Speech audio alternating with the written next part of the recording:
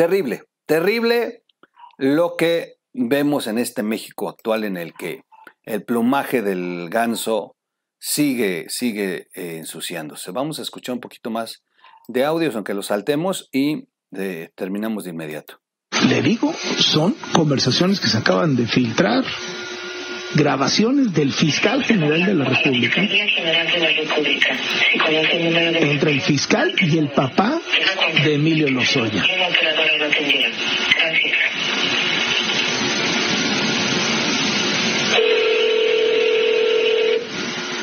Son varias llamadas telefónicas. Eh, qué gusto saludarle, muy buenos días, hable Emilio Lozoya Talma. Buenos días, licenciado. ¿Cómo han estado? A Dios. Y bueno, eso hay que cuidarnos todos, ¿verdad? Le mando un saludo con mucho respeto y cariño. ¿Cree que pueda hablar con el señor su procurador, con el licenciado? Claro que sí, también Muchas gracias. Ahí pide hablar con Juan Ramos, el subprocurador y brazo derechísimo del fiscal Gertz En las primeras conversaciones, usted lo recuerda muy bien, era el fiscal con su aquí molestando.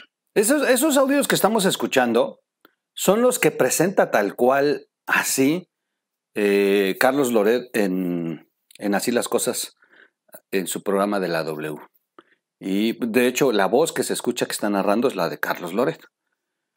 Eh, vuelvo a insistir, si quieren escuchar las grabaciones completas y todo lo que dijo Loret, está en RIT Noticias, dejo el link acá abajo. Es grande, es largo el video, muy, muy largo.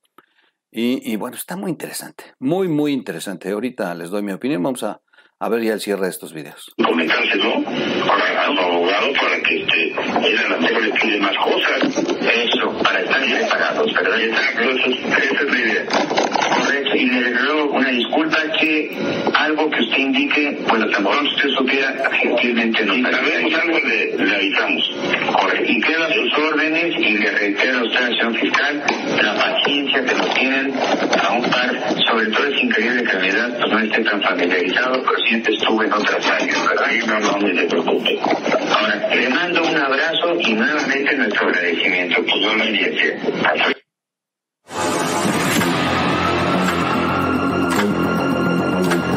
Bueno, pues ahí está el, el final de, de este video.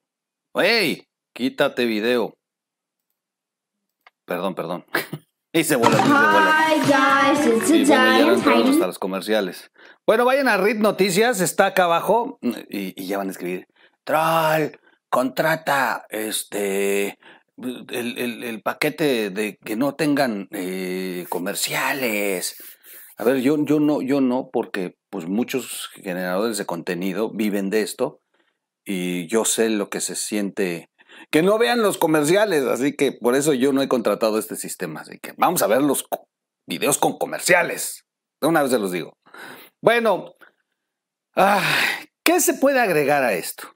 Definitivamente, definitivamente hay varias cosas que, que nos muestra y que nos demuestra.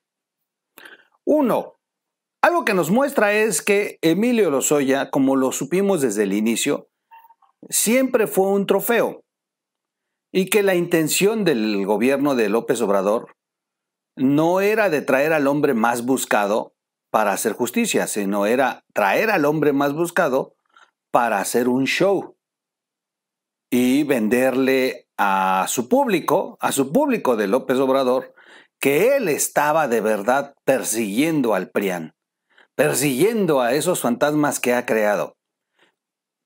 Ya recordemos una, una que aquí tenemos siempre insistiendo. Para crear un héroe necesitas fabricarte un villano. Y López Obrador, para su público, eh, ha eh, generado una serie de montajes en las que él siempre termina como el héroe, como si hubieras una serie de estas de superhéroes y cada capítulo va a pelear contra algo, ¿no? Capulina contra los monstruos, Capulina contra los marcianos, Capulina contra las momias, o como el santo, ¿no? El santo contra los vampiros, el santo. Así es López Obrador. López Obrador contra la corrupción de eh, el PRIAN. López Obrador contra los fifís, López Obrador contra los aspiracionistas, López Obrador contra Calderón. Bueno, ese, es de regla, ese es de, la, de la este, barra de contenido de todos los días. López Obrador contra los eh, ladrones del gobierno de Peña Nieto, porque a Peña Nieto no lo toca. Y, y así, entonces, pues lo que hicieron fue buscar, buscar este acuerdo con Emilio. Muchos dicen que Emilio les vio la cara de imbéciles y que pues, finalmente por eso es que terminó en el bote Emilio. Al final de cuentas, Emilio está ahí ya en la cárcel por porque se pasó de de listo viéndoles la cara de güey al ofrecer que iba a cantar. Esa es una. La otra es que no puede cantar nada. Esa es la realidad, que no puede cantar nada porque al final de cuentas López Obrador no va a romper un acuerdo con Peña Nieto y cuando se veía más la posibilidad de que saliera raspado Peña Nieto, comenzaron a fluir eh, los rumores de que existían más videos y que Peña Nieto los tenía en su poder. Así que pues, López Obrador de inmediato cambió el chip y si los oye hoy está en el bote es por bruto, porque no les quedó de otra. Porque inclusive existe ahí una, también una declaración del padre de cómo lo manda a llamar Gers Manero. Aquí hicimos este video, que Gers Manero mandó a llamar al padre para decirle, pues tu hijo, tu hijo la regó y pues no nos va a quedar de otra. Porque López Obrador estaba muy enojado, la forma en que lo habían exhibido al ser encontrado comiendo en uno de los restaurantes más eh, lujosos de México. Eso es lo que nos muestra, que hubo un acuerdo ya, desde antes, para construir un show. Lo que nos demuestra es lo grave. Lo grave es la impunidad con la que ha operado Gers Manero. A veces eh, pareciera una fantasía o algo exagerado de pronto decir que Gers, Manero es uno de los hombres más poderosos de este gobierno, inclusive por encima de López Obrador. Y, cada día que se dan estos escándalos te das cuenta que así es, que es el más poderoso. Por lo, o sea, en, en otro momento, en otro tiempo y con otro funcionario, hubiera caído desde el primer audio. O sea, dice Chumel Torres, y con mucha ironía publicó en Twitter que Gers Manero tiene más grabaciones que los Tigres del Norte. Y, bueno, burlándose de este tema. Es que sí es cierto. Sea, Gers Manero tiene ya tantas filtraciones, tantos señalamientos, tantos antecedentes que de verdad, en otro momento, en otro tiempo y con otra persona, Gers Manero hubiera dejado de ser de este gobierno desde hace mucho. Le hubieran pedido la renuncia desde hace mucho, su caída hubiera sido inminente y no. No, Gers Manero de verdad se convierte en un hombre muy poderoso, pero además llama la atención cómo negocia de forma independiente y en paralelo a López Obrador. Y López Obrador, miren, no se mete con él. ¿Qué le sabe Gers Manero a López Obrador como para que López Obrador de verdad agache la cabeza frente a él? Un tema tras otro y siempre sale raspado López Obrador y lo único que hace el presidente es salir a decir que le tiene mucha confianza, que él ahí no se va a meter, que esperemos a que las autoridades determinen y nunca, nunca, nunca se mete con Gersmanero, nunca.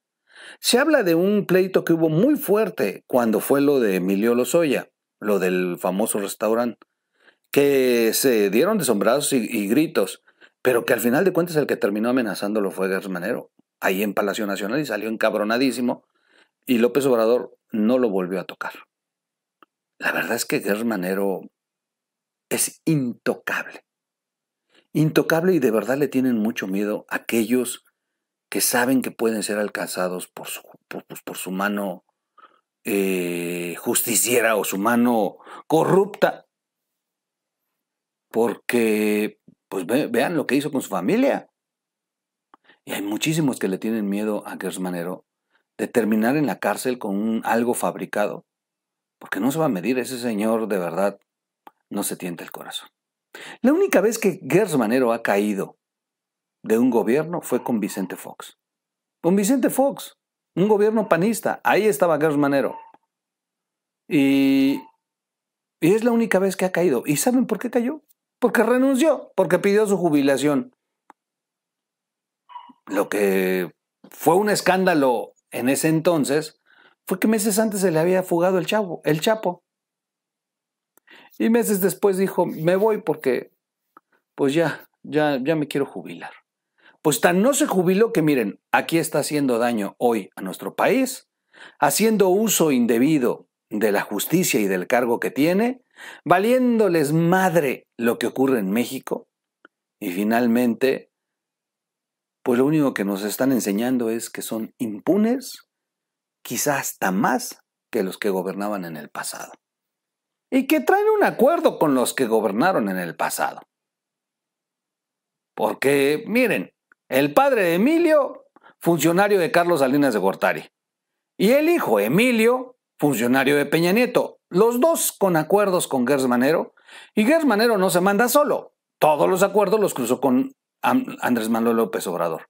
Así que, sin duda, el gobierno de López Obrador, este gobierno de la 4T de la esperanza, hoy es exhibido en grabaciones teniendo negociaciones con un exfuncionario de Carlos Salinas de Gortari y con un exfuncionario de Enrique Peña Nieto. El segundo, por delitos de corrupción que la propia empresa ha aceptado y señalado. ¿Qué esa es la última parte de esto. A ver, todos dicen que Emilio Lozoya, hijo, sale sin bronca que uno de los acuerdos después de lo del famoso pato en el restaurante es que se vaya al bote para que se le quite lo pendejo, pero lo que vamos a hacer es tratar de que se retrasen las cosas, caminen ciertas situaciones legales que le permita salir en dos años a lo mucho. Que se vaya con el presidente.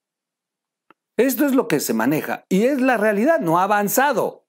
Finalmente no ha avanzado tampoco un juicio, una sentencia en contra de Emilio Lozoya. Lo único que está es ahí guardadito y caminando los amparos y caminando las vueltas y vueltas y vueltas, pero tampoco avanza lo, lo de Emilio. Emilio tarde o temprano van a pedirle disculpas y lo van a liberar. ¿Apuesta?